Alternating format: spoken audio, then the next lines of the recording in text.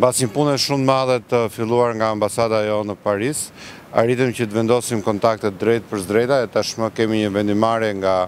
Organizata Nacionale e Tur Operatorëve dhe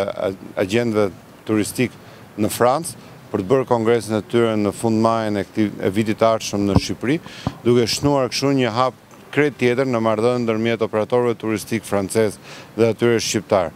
Të paktën një mijë tur operatorë dhe agjentë tregtarë do të jenë në Shqipëri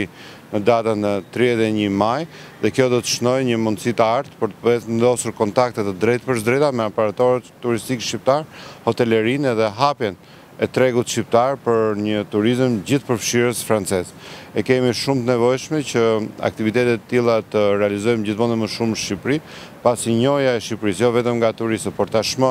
edhe nga tur operatorët, nga një numër i madh gazetarësh që do të shoqërojë këtë kongres, do të jetë një lajm shumë i mirë për zhvillimin e turizmit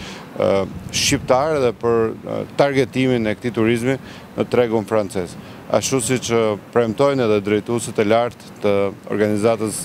të ashtu siç premtojnë edhe drejtues të lartë të Shoqatës së Turoperatorëve Nacional Francez, ky kongres do të shënojë një rritje të disafishtë të numrit të francezëve që do të vizitojnë Shqipërinë. Jemi shpresëplotë që do të jetë një ngjarje shumë e bukur e shkëmbimit të eksperiencave ndërmjet operatorëve turistikë francezë edhe atyre shqiptarë.